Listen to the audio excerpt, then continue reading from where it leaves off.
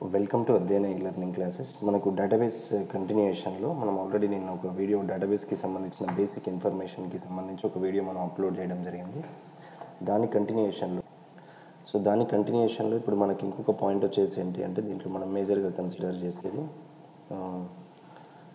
One more point గురించి discuss చేద్దాం.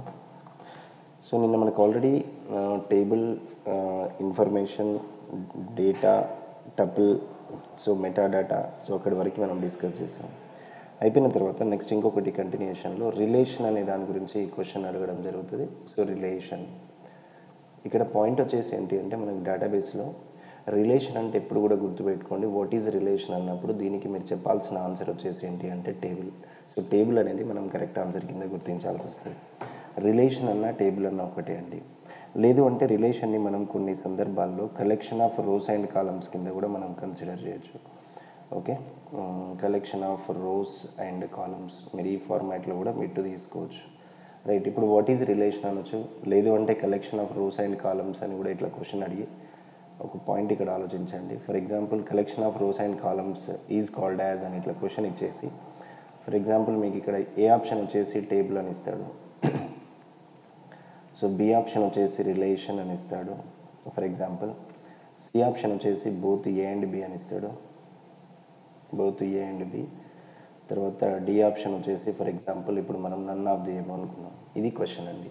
Collection of rows and columns is called as అంటాడు. అంటే దీనికి మ్యాక్సిమం క్యాండిడేట్స్ ఆన్సర్ టేబుల్ అని టిక్ చేసే ఆన్సర్ ఉంటుంది. ఓకే టేబుల్ అని మ్యాక్సిమం దీనికి సెలెక్ట్ చేసే ఛాన్సెస్ ఎక్కువగా ఉంటాయి. బట్ కాకపోతే ఏంటంటే రిలేషన్ అంటే కూడా మనం ఏమనుకున్నామండి? ఇండైరెక్ట్గా టేబుల్. సో కాబట్టి ఇవి రెండు రైట్ ఆన్సర్సే కాబట్టి సో ఇప్పుడు మనకు ఓవరాల్గా వచ్చిన కరెక్ట్ ఆన్సర్ వచ్చేసింది అంటే so C is the right answer. So ఇట్లా మనం గమనించాల్సి ఉంటుంది. క్వశ్చన్ అనేది చాలా ఫిల్టరింగ్ లెవెల్లో ఉంటుంది. సో ఇది ఒకటి గుర్తుపెట్టుకోవాలి. తర్వాత ఇంకొక క్వశ్చన్ వచ్చేసి ఏంటి అంటే దీనికి సంబంధించి మనల్ని రిలేషన్షిప్ అని అడుగుతాడు. What is relationship? మనకు డేటాబేస్లో రిలేషన్షిప్ అనేది ఎలా ఉంటుంది? So relationship. ఇక్కడ రిలేషన్షిప్ అంటే పాయింట్ వచ్చేసి ఏంటి అంటే దీంట్లో మీరు కనుక పరిశీలించినట్లయితే మూవింగ్ ద డేటా అండి. Okay moving the data from one table to other table right moving the data from one table to other table right so this is called as ఏంటి అక్కడ జనరల్గా రిలేషన్షిప్ అంటాం. అంటే ఒక టేబుల్ నుంచి ఇంకొక టేబుల్కి మనం డేటాని కనుక మూవ్ చేసినట్లయితే సో అట్లాంటి కేసెస్లో దాన్ని మనం రిలేషన్షిప్ కింద కన్సిడర్ చేస్తాం. లేదు అంటే దీనికి ఇంకొక రకం కూడా మనం ఆన్సర్ ఇచ్చే అవకాశం ఉంటుంది. నావిగేటింగ్ ద డేటాను కూడా తీసుకోవచ్చండి. అభ్యర్థులు ఇది క్లియర్గా గమనించాలి. నావిగేటింగ్ ద డేటాని కూడా ఇస్తాడు ఇక్కడ. So navigating the data same మళ్ళీ మనకి from one table to other table అనేది ఇక్కడ ఎలాగో ఉంది ఆన్సర్ సో ఇట్లా తీసుకోవచ్చు. Moving the data or navigating the data అనేది కూడా. సో ఈ రెండు కూడా దాని కిందకి రావడం జరుగుతూ ఉంటుంది. ఓకే సో మనకు ఆల్రెడీ రిలేషన్ ఇవన్నీ అయిపోయిన తర్వాత నెక్స్ట్ ఇంకొక పాయింట్ని కనుక మనం పరిశీలించినట్లయితే దీంట్లోనే సో ఇప్పుడు మనకు ఆల్రెడీ రిలేషన్షిప్ అంటే ఏంటి తెలిసింది? రిలేషన్ అని తెలిసింది. తర్వాత నెక్స్ట్ వచ్చేసి ఏంటి అంటే కాన్స్ట్రెంట్ అంటాడు. మనకు డేటాబేస్లో జనరల్గా కాన్స్ట్రెంట్ అంటే ఏంటి? ఎలా ఉంటుంది? కాన్స్ట్రెంట్ ఇక్కడ కాన్స్టెంట్ అంటే దీని అర్థం ఏంటిది అంటే so it is a validation right so data validation data validation on particular field okay? On particular field అంటే ఒక పర్టికులర్ ఫీల్డ్ మీద మనం డాటా వ్యాలిడేషన్ని కనుక క్రియేట్ చేసినట్లయితే so that is called as constant what is constant means it is a data validation లేదు అంటే దీన్నే కొన్ని సందర్భాల్లో బిట్ ఎట్లా అడగవచ్చు అంటే వ్యాలిడేషన్ అని కూడా ఇవ్వచ్చు అండి. అంటే ఒక పర్టికులర్ టేబుల్ మీద మీకు ఏదైనా వ్యాలిడేషన్ క్రియేట్ అయింది అంటే సో దాన్ని కూడా మనం కాన్స్టెంట్ కింద కన్సిడర్ చేయొచ్చు. డేటా వ్యాలిడేషన్ అనే పర్టికులర్ ఫీల్డ్ ఆర్ వ్యాలిడేషన్ అనే టేబుల్ వ్యాలిడేషన్ అనే టేబుల్ అని కూడా ఇస్తారండి. ఇది కూడా మీరు అభ్యర్థులు గమనించవచ్చు. వ్యాలిడేషన్ అనే టేబుల్ అనొచ్చు డేటా వ్యాలిడేషన్ అనే పర్టికులర్ ఫీల్డ్ అనొచ్చు. సో ఇట్లా మనకు ఓవరాల్గా దేనికి సంబంధించి అయినా కూడా క్వశ్చన్ అడిగే అవకాశం ఉంటుంది. మరి ఇక్కడ మనకు కాన్స్టెంట్స్ అంటే ఇంకొక రకంగా వచ్చేసి ఏంటి అంటే it is a validation check అని కూడా ఇస్తాడండి ఆప్షన్ దీన్ని వ్యాలిడేషన్ చెక్ అని కూడా తీసుకోవచ్చు. మనకు డేటాబేస్ పైన వ్యాలిడేషన్ చెక్ అనేది ఎలా ఉంటుంది? ఓకే సో దానికి బేస్ చేసుకొని కాన్స్టెంట్ అనే ఆన్సర్ ఇవ్వచ్చు. తర్వాత నెక్స్ట్ వచ్చేసి ఏంటి అంటే to restrict the data on field okay to restrict data on field okay data on field అంటే ఒక ఫీల్డ్ పైన మనకు డేటా రెస్ట్రిక్షన్ అనేది కూడా ఎట్లా ఇంప్లిమెంట్ అవుతుంది అనేది కూడా ఈ కాన్స్టెంట్ని బేస్ చేసుకొని మనకు రావడం అనేది జరుగుతూ ఉంటుంది. తర్వాత ఇంకొక పాయింట్ని కనుక మనం పరిశీలించినట్లయితే ఇక్కడ మనకు మరి బేసిక్గా ప్రైమరీ కాన్స్టెంట్స్ ఏమున్నాయి? ఇక్కడ మనకు డేటాబేస్ కాన్స్టెంట్స్ ఇక్కడ డేటాబేస్ కాన్స్టెంట్స్ని కనుక మనం పరిశీలించినట్లయితే ఒకటి ప్రైమరీ కీ అని ఉంటుంది. ఓకే తర్వాత నెక్స్ట్ వచ్చేసి ఏంటి అంటే ఇక్కడ సెకండరీ కీ అని ఉంటుంది. రైట్ నెక్స్ట్ ఫారిన్ కీ అనేది తీసుకోండి ఇక్కడ. బేసిక్గా ఇవి మూడు కీ కాన్స్టెంట్స్ ఉంటాయి. ఇవి కాకుండా జనరల్గా వచ్చేసి ఏంటి అంటే ఒకటి నాట్ నల్ అనేది కామన్ ఇక్కడ మీకు ఆన్సర్లోనే వస్తుంది. తర్వాత నెక్స్ట్ చెక్ కాన్స్టెంట్ అని ఉంటుంది. వీటి గురించి మనం డిస్కస్ చేయాల్సి వస్తుంది. ఒకటి ప్రైమరీకి సెకండరీకి ఫారిన్కి not null and check. Right so first నేను నాట్ నల్ అండ్ చెక్ గురించి డిస్కస్ చేస్తున్నాను. ఇప్పుడు నాట్ నల్ అన్నారు. నాట్ నల్ అంటే వచ్చేసి ఏంటి అంటే ఒక ఫీల్డ్లో ఏదైనా వాల్యూ ఉండొచ్చు బట్ అది నల్ వాల్యూస్కి సపోర్ట్ చేయదు. అంటే ఇక్కడ పాయింట్ వచ్చేసి ఏంటి అంటే so it cannot support right null null values in the table okay ఒక టేబుల్లో నల్ వాల్యూస్ లేకుండా ఉంటుంది అంటే so that is related to the not null and compulsory at least some value in the table okay it contains okay at least some value అంటే ఒక table ఫీల్డ్లో at least some value అనేది ఉండాలి. So ఎట్లాంటి value అయినా అక్కడ occur అవ్వచ్చు. At least some value on on the particular field that is related to the not null so దానికి నాట్ నల్ మరి దీనికి ఒక చిన్న ఎగ్జాంపుల్ ఎట్లా తీసుకుంటాం? నాట్ నల్ క్రియేట్ చేయాలి అంటే ఇప్పుడు ఫర్ ఎగ్జాంపుల్ నేను ఒకటి స్టూడెంట్ నెంబర్ అని తీసుకున్నాను. దీనికి సంబంధించి నంబర్ ఫార్మాట్ తీసుకున్నాను ఇక్కడ. సో నంబర్ ఫార్మాట్ దీన్ని నేను నాట్ నల్ అంటాను. సో జనరల్గా మనకు డిక్లరేషన్ అనేది ఇట్లా వస్తుంది. సో నాట్ నల్కి సంబంధించిన పాయింట్ ఇది. తర్వాత నెక్స్ట్ వచ్చేసి ఒకటి చెక్ కాన్స్టెంట్ గురించి తీసుకున్నాం. చెక్ కాన్స్టెంట్ వచ్చేసి ఏంటి అంటే ఏదైనా ఒక ఫీల్డ్కి మనం ఫస్ట్ వాల్యూస్ ఇన్సర్ట్ చేయడానికి ముందు ఓకే వాల్యూస్ ఇన్సర్ట్ చేయడానికి ముందు దాంట్లో ఉన్న వాల్యూస్ని మనం చెక్ చేయాలి అని అంటే అట్లాంటి కేసెస్లో అంటే మనం ఇచ్చిన వాల్యూస్ని చెక్ చేయాలి అని అంటే సో అట్లాంటి కేసెస్లో వి యూస్ చెక్ కాన్స్టెంట్స్ అన్నట్టు. అంటే it is use to check the input values to check or validates okay validate input values okay validate input values before inserting okay so before inserting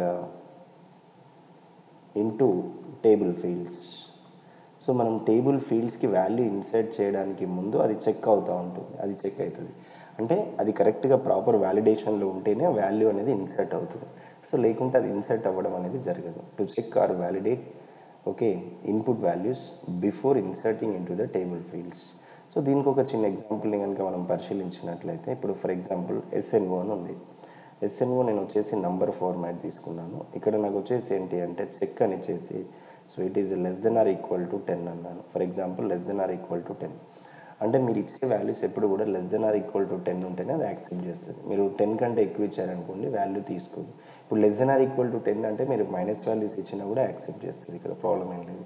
so అట్లా అన్నట్టు. అంటే ఏదైనా వాల్యూని insert చేయడానికి ముందు అది చెక్ అవుతుంది. అంటే అది value according to the condition ఉందా లేదా చెక్ చేయాలి అని అంటే సో అట్లాంటి కేసెస్లో కూడా we go with check constant. Okay ఇక దీని తర్వాత నెక్స్ట్ మనకి ప్రైమరీ సెకండరీకి ఫారిన్కి అని ఉంది. సో వీటి గురించి డిస్కస్ చేద్దాం. సో ఇప్పుడు మనం ప్రైమరీకి వెళ్ళిపోదాం జనరల్గా మనకు ప్రైమరీకి అని ఉంటుంది ఇక్కడ. సో ఇది ప్రైమరీకి. మనకి ఎట్లా బేసిక్ డెఫినేషన్స్ అడుగుతాడు కాబట్టి మీరు జనరల్ కాన్సెప్ట్స్ గుర్తుపెట్టుకోండి. సరిపోతుంది. ప్రాక్టికల్ లెవెల్లో అవసరం లేదు ఇక్కడ. ప్రైమరీకి. ఇక్కడ మనకి ప్రైమరీకి అంటే వచ్చేసి ఏంటి అంటే సో ఇక్కడ మనకు వచ్చేసి it cannot support. Okay. So it cannot support it cannot support uh, duplicate values and null values. It cannot support duplicate values and null values. Okay దీంట్లో డూప్లికేట్ వాల్యూస్ ఉండవు నల్ వాల్యూస్ ఉండవు. ఓకేనా so దాంట్లో value అనేది మనకు store so it cannot support duplicate values and null values అంటే మనకు దాంట్లో వాల్యూ అనేది స్టోర్ అవుతూ ఉంటుంది. బట్ ఏంటంటే డూప్లికేట్ వాల్యూ ఉండదు నల్ వాల్యూ ఉండదు. రైట్ కంపల్సరీ ఏదో ఒక వాల్యూ ఉండాలి. ఇప్పుడు ఫర్ ఎగ్జాంపుల్ ఏంటి అంటే నేను ఇక్కడ ఒకటి చిన్న టేబుల్ తీసుకుందాం. ఫర్ ఎగ్జాంపుల్ ఇక్కడ ఆర్డర్ అనే ఒక టేబుల్ ఉంది. ఓకే ఇప్పుడు ఆర్డర్ ఐడి ఆర్డర్ ఐడి అన్నాము. తర్వాత ఆర్డర్ నేమ్ అన్నాను. తర్వాత నెక్స్ట్ ప్రైస్ అన్నాను. ఇట్లా మనం ఒక ఫీల్డ్ తీసుకుందాం ఫర్ ఎగ్జాంపుల్ ఇప్పుడు ఫర్ ఎగ్జాంపుల్ నేను ఆర్డర్ ఐడిని ప్రైమరీ కీ అనుకుంటున్నాను ఇక్కడ. So this is primary key primary కీలో వచ్చేసి ఏంటి అంటే డూప్లికేట్ వాల్యూస్ ఉండవు. నల్ వాల్యూస్ ఉండవు. అంటే వాల్యూ అనేది రిపీట్ కాదు. అసలు నల్ వాల్యూ అనేది అక్కడ ఉండదు. అంటే కంపల్సరీ వాల్యూ ఉండాలి. వాల్యూ రిపీట్ అవ్వద్దు. అంటే ఇప్పుడు for example one zero one అని ఇచ్చాను. వన్ జీరో వన్ అంటే ఇక్కడ నేను నోట్బుక్ అని ఇచ్చాను. ఫర్ ఎగ్జాంపుల్ ప్రైస్ వచ్చేసి for example thirty five rupees అనుకున్నాను. నెక్స్ట్ వన్ జీరో టూ అన్నాను. ఫర్ ఎగ్జాంపుల్ పెన్ అనుకున్నాను. సో ఫర్ ఎగ్జాంపుల్ ఇది twenty five rupees so one zero three అని ఇచ్చాను. ఫర్ ఎగ్జాంపుల్ ఇక్కడ వచ్చేసి క్యాలిక్యులేటర్ అని ఇచ్చాను.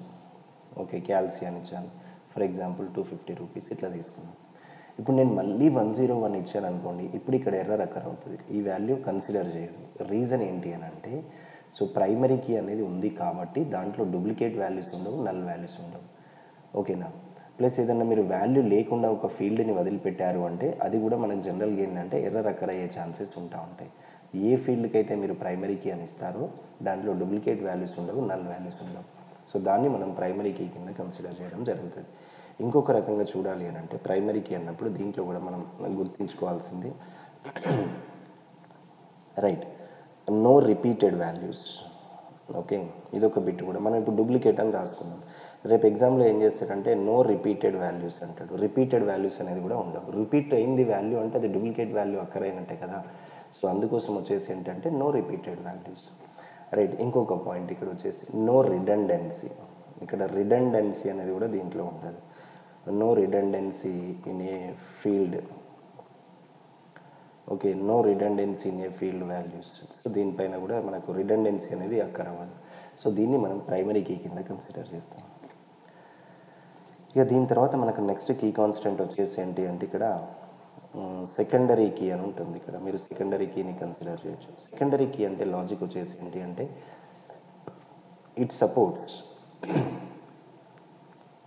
okay it supports duplicate values it supports a duplicate values mm, okay but uh, it cannot support but it cannot support uh, null values but it cannot support null values right ఇది logic అండి duplicate values ఉండొచ్చు కానీ null values ఉండొద్దు null values ఉండొద్దు కానీ duplicate values ఉండొచ్చు so this type of key constant is called as secondary key it's about duplicate values but it cannot support null values so దీన్ని మనం జనరల్గా సెకండరీ కీ కింద కన్సిడర్ చేయడం అనేది జరుగుతూ ఉంటుంది వాటికి సంబంధించిన దాంట్లో. రైట్ మరి ఇక్కడ సెకండరీ కీ అనేది ఎట్లా ఉంటుంది అంటే డూప్లికేట్ వాల్యూస్ ఉండొచ్చు నల్ వాల్యూస్ ఉండొద్దు అని అంటే ఫర్ ఎగ్జాంపుల్ ఒకటి కస్టమర్ నేమ్ ఉందనుకోండి. సో ఇప్పుడు మనకు uh, ఇక్కడ కస్టమర్ నేమ్ అనేది ఉంది. కస్టమర్ నేమ్ ఎన్నిసార్లు అయినా రిపీట్ అవ్వచ్చు. ఫర్ ఎగ్జాంపుల్ ఒక కస్టమర్ ఉన్నాడు రమేష్ అనే ఒక కస్టమర్ ఉన్నాడు. ఈ రమేష్ అనే నేము ఎంతమంది కస్టమర్లకైనా ఉండొచ్చు. నేమ్ అనేది రిపీట్ అవుతుంది ఇట్లా రమేష్ రమేష్ రమేష్. ఈ నేమ్ ఎన్నిసార్లు అయినా రిపీట్ అవ్వచ్చు. కానీ నేమ్ లేకుండా కస్టమర్ ఉండడు. నేమ్ లేకుండా కస్టమర్ ఉండడు. నేమ్ ఎన్నిసార్లు అయినా రిపీట్ అవ్వచ్చు. So this type of implementation is called as secondary it cannot support duplicate values but it okay it it supports duplicate values but it cannot support null values duplicate values ఉంటాయి కానీ null values ఉండవు. అట్లాంటి దాన్ని మనం secondary key కింద consider చేస్తాం. So దీని తర్వాత ఇక నెక్స్ట్ వచ్చేసి ఏంటి అంటే ఒకటి మనకి ఫారిన్ కీ అని ఉంటుంది. ఫారిన్ కీ సో జనరల్గా మనం ఫారిన్ కీని ఎందుకు యూజ్ చేస్తామంటే which is use to create okay so create relationship between tables to create relationship between tables అంటే మనం టేబుల్స్కి టేబుల్స్కి మధ్యలో రిలేషన్షిప్ క్రియేట్ చేయాలి అని అంటే సో అట్లాంటి కేసెస్లో వి గో విత్ ఫారిన్కి రైట్ అంటే రిలేషన్షిప్ క్రియేట్ చేయాలి. బట్ ఇక్కడ రిలేషన్షిప్ క్రియేట్ చేయాలి అంటే ఒక క్రైటీరియా ఉంటుంది. So minimum two tables are participated here minimum two tables అంటే మినిమం టూ టేబుల్స్ కంపల్సరీ ఉండాలి. ఇక్కడ మనం రిలేషన్షిప్ ఇంప్లిమెంట్ చేయాలి అంటే బట్ ఇక్కడ మనకు మ్యాక్సిమం ఎన్ టేబుల్స్ అన్నట్టు. ఎన్ టేబుల్స్ ఎన్నైనా ఉండొచ్చు. సో లిమిట్ అనేది ఉండదు. బట్ మినిమం మాత్రం కంపల్సరీ టూ టేబుల్స్. సో దీంట్లో మనకి మినిమం టూ టేబుల్స్ వచ్చేసింది అంటే ఫర్ ఎగ్జాంపుల్ ఒకటి కస్టమర్ అనే ఒక టేబుల్ తీసుకుంటున్నాను ఫర్ ఎగ్జాంపుల్. సో కస్టమర్ ఇది కస్టమర్ టేబుల్ అనుకుందాం ఫర్ ఎగ్జాంపుల్. ఇప్పుడు ఈ కస్టమర్ టేబుల్లో మనకి ఫీల్డ్స్ వచ్చేసి ఏంటి అంటే for example customer ID for example customer name తర్వాత ఇతని యొక్క అడ్రస్ అనుకుందాం. తర్వాత నెక్స్ట్ వచ్చేసి ఏంటి అంటే ఇక్కడ మనకు ఆర్డర్ అనే ఒక టేబుల్ తీసుకుంటున్నాం. ఫర్ ఎగ్జాంపుల్ ఆర్డర్ ఐడి తర్వాత నెక్స్ట్ ఆర్డర్ నేమ్ తర్వాత next price of the order right తర్వాత మరి ఈ ఆర్డర్ని ఏ కస్టమర్ ఆర్డర్ చేశాడు? ఇప్పుడు దీంట్లో ఇది ఏమవుతుంది అంటే కస్టమర్ ఐడి అనేది ప్రైమరీ కీ అవుతుంది. తర్వాత ఆర్డర్ ఐడి అనేది కూడా ఇక్కడ ప్రైమరీ కీ అవుతుంది. తర్వాత ఇక్కడ కస్టమర్ ఐడి అని వచ్చేది మనకు సెకండరీ కీ అనేది అవుతుంది ఇక్కడ. సో ఇక్కడ మనకు సెకండరీ కీ అవుతుంది. ఓకే సో మనం ప్రైమరీ కీకి మనకు ఆల్రెడీ డెఫినేషన్ ఐడియా ఉంది. It cannot support duplicate values and it cannot support null values secondary కీకి కూడా మనకు ఆల్రెడీ డెఫినేషన్ ఉంది. It can support duplicate values but it cannot support null values ఇక్కడ duplicates వస్తాయి. Duplicate values రావచ్చు. Duplicate values ఉంటాయి. కానీ not null uh, ఇది. ఇక్కడ వచ్చేసి మనకు లాజిక్ ఏంటి? No duplicate okay no duplicate no null. అంతే కదా? రైట్ ఇక్కడ కూడా సేమ్. నో డూప్లికేట్ కదా? No duplicate and no null values. Okay ఇప్పుడు మనం ఈ టూ టేబుల్స్ తీసుకుందాం. దీంట్లో ఒకటి పేరెంట్ టేబుల్ అవుతుంది ఒకటి చైల్డ్ టేబుల్ అవుతుంది. సో ఇప్పుడు మనం కస్టమర్ని వచ్చేసి ఏంటి అంటే ఇక్కడ మనకు దీన్ని పేరెంట్ టేబుల్ కింద కన్సిడర్ చేస్తాం. Now this is the parent table. Order అనేది ఇది ఏమవుతుంది అంటే చైల్డ్ టేబుల్ అవుతుంది అన్నట్టు. So child table. ఇప్పుడు మనకు ఫారిన్కి రిలేషన్షిప్ ఎట్లా ఉంటుంది అంటే parent table dot primary key equal to child table dot secondary key అన్నట్టు. Parent table dot primary key equal to child table dot secondary key అంటే parent టేబుల్లో ప్రైమరీకి వచ్చేసి కస్టమర్ ఐడి చైల్డ్ టేబుల్లో ప్రైమ్ సెకండరీకి వచ్చేసి customer ID అంటే parent table dot primary key equal to child table dot secondary key అంటే ఇగో ఇట్లా మనకు రిలేషన్షిప్ అనేది క్రియేట్ అవుతుంది.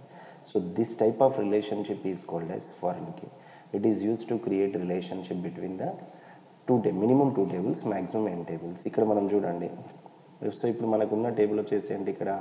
Customer dot customer ID which equal to pay child dot secondary table అంటే so order order dot so customer ID right so this type of relationship is called as దీన్ని foreign key కింద consider చేస్తాం.